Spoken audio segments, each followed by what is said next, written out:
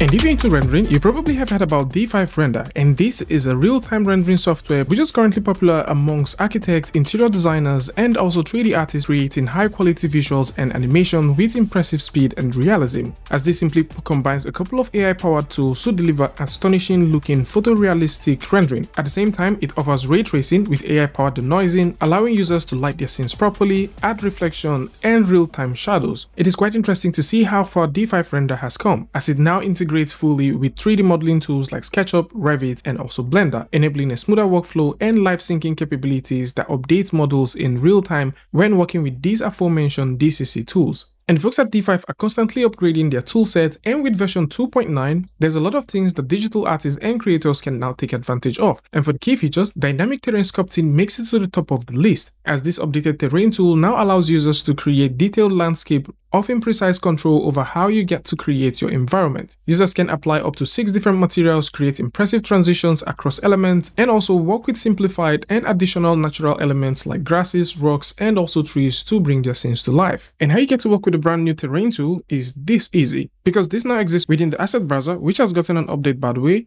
All you need to do is click go over to the asset browser and from here you need to select online we can also click and drag out this new panel and we can simply select terrain.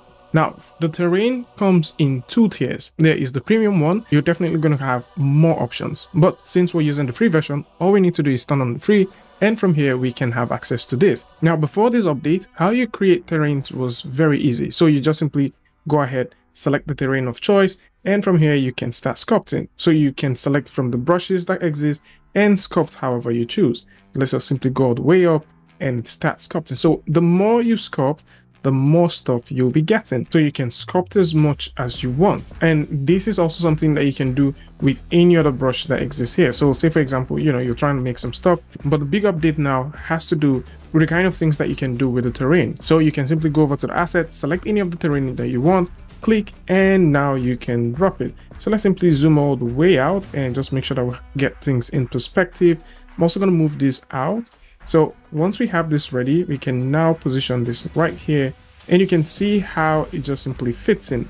Of course, we can definitely go ahead and choose to scale this down and position this right where we want it to be. The cool thing with this new update is this also merges with pre-existed sculpt. There's also a few parameters here that you can use to control how the terrain behaves. So we can get that, we can also play with the fall off depending on how much fall off we want we can get this going. You can also bring in a couple other ones and the terrain maps that you get here or technically the height maps which you get here these come in different variants. There's the mountain, the ridge, the island. Of course, we don't have free stuff for the ridge, but for the islands, you do get two stuff. Dunes, you also get about two stuff. There's no free stuff for the crater. And for the material template, you have access to three major materials that you can work with. So you can definitely see the categories that exist. And for you to apply any of these materials, all you need to do is click and these would automatically apply to the scene. You can simply explore with these ones, see what and what you can create with them, and definitely you can go back and forth with this and see what actually works for you. Of course, you can now proceed to scatter stuff around your scene and start building your scene depending on what you're trying to make. And with version 2.9, the 3D Connexion mouse is now finally here. Previously, this was in beta, but it's quite interesting to see that you now have this feature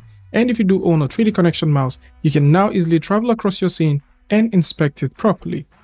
Version 2.9 also ships with brand new assets and UI customization, as this now introduces over 320 new assets which includes different variations of characters from elderly all the way to children models. There's also a couple of materials that ranges from fabrics, natural surfaces and also tiles. Asset management is now even better and of course this improvement alongside the new asset and UI customization features that now comes with this makes working and also utilizing tools that exist within your asset browser easier to navigate and utilize. Phasing animation is also here. So some time ago we did talk about how you can do this in Twinmotion, but it's quite interesting to see that now inside of D5 Render, you can now create phasing animation as this feature makes it super easy for you to animate construction sequences or showcase complex processes without manual keyframing. And like we all know, phasing animations are designed to clearly showcase the evolution of project or product assemblies and and D5 Render does it pretty well. And in terms of placement, there is now a brand new random placement tool that now allows you to randomly place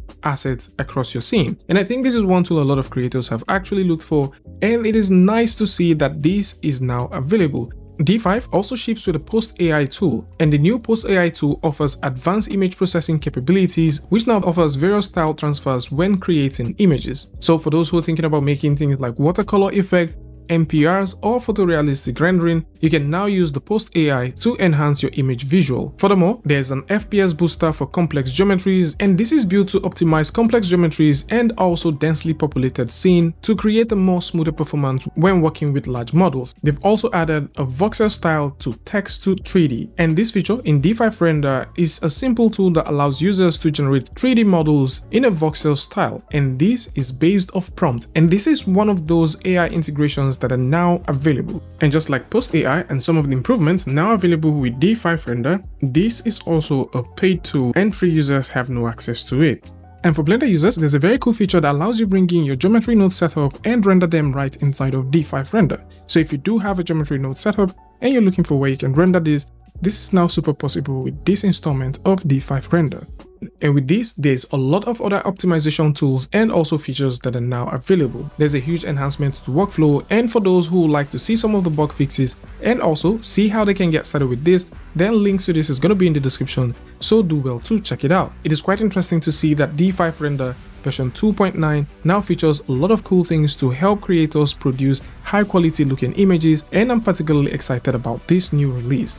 So this is it. For those who like to try this, all you need to do is go over to pricing and you can simply download the free community version and start creating amazing stuff with it. For those who like to download even more stuff, you can simply go over to the download section where you can download plugins for both 3D Studio Max, Rhino, SketchUp, Cinema 4D, ArchiCAD, Revit, and also Vectorworks. So tell me what you guys think about this ones in the comment section. And of course, if you like this video or you like something from this, you can go ahead and give a like and don't forget to share with a friend.